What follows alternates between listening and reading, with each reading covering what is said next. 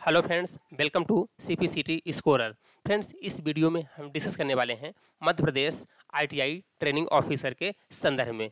तो फ्रेंड्स, यह common question paper है मतलब कि ये सभी ट्रेड के लिए कॉमन रहने वाला है। ओके फ्रेंड्स तो फ्रेंड्स वीडियो शुरू करने से पहले अगर आप इस चैनल पर नए हैं तो चैनल को सब्सक्राइब कर लीजिए, ताकि आने वाली हर वीडियो की जानकारी सबसे पहले आपको मिल सके। तो चलिए शुरू करते हैं। ओके फ्रेंड्स तो देखिए, जैसा कि आप देख रहे हैं कि ये कॉमन क्वेश्चन पेपर का पार्ट नंबर टू है और पार्ट नंबर फ़र्स्ट पहले ही अपलोड कर दिया गया है। ओके फ्रेंड्स देखते हैं फ़र्स्ट क्वेश्चन क्या है।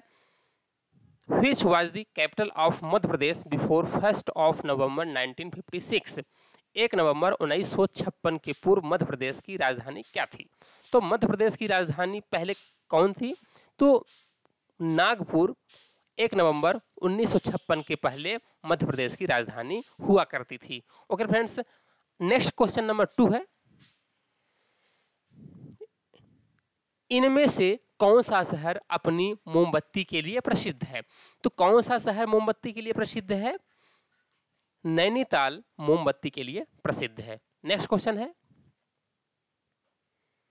जनसंख्या की दृष्टि से भारत का सबसे छोटा राज्य कौन सा है? तो जनसंख्या की दृष्टि से भारत का सबसे छोटा राज्य कौन सा है? सिक्किम जनसंख्या की दृष्टि से सबसे छोटा राष्ट्र है। नेक्स्ट क्वेश्चन है।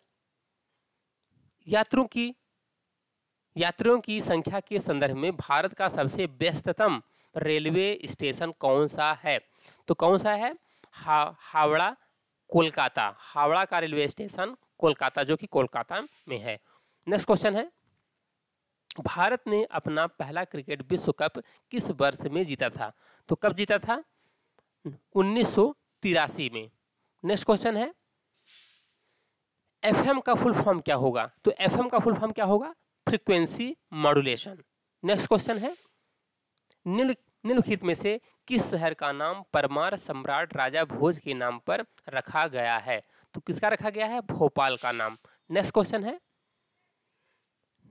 नवद्वीप में भागीरथी तथा जलांगी नदी का संगम है, जहाँ गंगा की एक सहायक नदी निर्मित होती है। यह सहायक नदी है। तो सहायक नदी कौन सी है वो? वो Hooghly. Okay friends next question है, किस शहर को दक्षिण भारत का मैनचेस्टर कहा जाता है? तो किसको कहा जाता है? कोयम्बतूर को दक्षिण भारत का मैनचेस्टर कहा जाता है। नेक्स्ट क्वेश्चन है, किन्हें भारतीय अंतरिक्ष कार्यक्रम का जनक कहा जाता है? तो भारतीय अंतरिक्ष कार्यक्रम का जनक कौन है? विक्रम सारा भाई।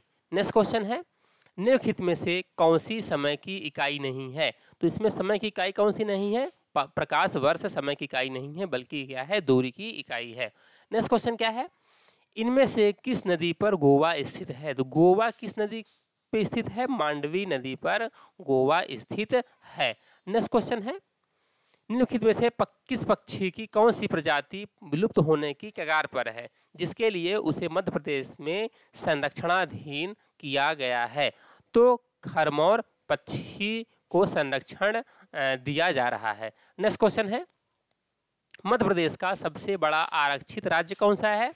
मध्य प्रदेश का सबसे बड़ा आरक्षित राज्य मध्य प्रदेश में किस चीज़ के लिए है? तांबे तथा हीरे के लिए ये रिज़र्व है। नेक्स्ट क्वेश्चन है। भारत के प्रथम उपग्रह को क्या कहा गया है? तो भारत के प्रथम उपग्रह को आर्यभट्ट के नाम से जाना जाता है। अगला क्वेश्चन ये है कि ग्वालियर मध्य प्रदेश के फूलबाग में किसका स्मारक है? तो ग्वालियर मध्य प्रदेश में फूलबाग में किसका स्मारक बना हुआ है? झांसी की रानी लक्ष्मीबाई का। नेक्स्ट क्वेश्चन है। व्यावसायिक रूप से सोडियम का, बाइकार्बोनेट को किस नाम से जाना जाता है? तो किस नाम से जानते हैं? बेकिंग सोडा को सोडियम बाइकार्बोनेट के नाम से भी जाना जाता है। क्वेश्चन नंबर अट्ठारह है। कोणार्क में प्रसिद्ध सूर्य मंदिर किसने बनवाया था? तो किसने बनवाया था? नरसिंहम देव ने बनवाया था। नेक्स्ट क्वेश्चन है, भारतीय लोक नृत्य चेरो किस नाम से भी जाना जाता है? तो किस नाम से जाना जाता है? मिजोरम का बाँस नृत्य। नेक्स्ट क्वेश्चन है, मध्य प्रदेश में कौन सा स्थान नृत्य के महोत्सव के लिए जाना जाता है? तो कौन जाना जाता है? खजुराहो। नेक्स्ट क्वेश्चन है, हिंदी कविता की रचनात्मक संरचना के क्षेत्र में दिया जाने वाला उत्कृष्ट सम्मान कौन सा है? तो उत्कृष्ट सम्मान कौन सा है? मैथिली शरण गुप्त पुरस्कार। नेक्स्ट क्वेश्चन है।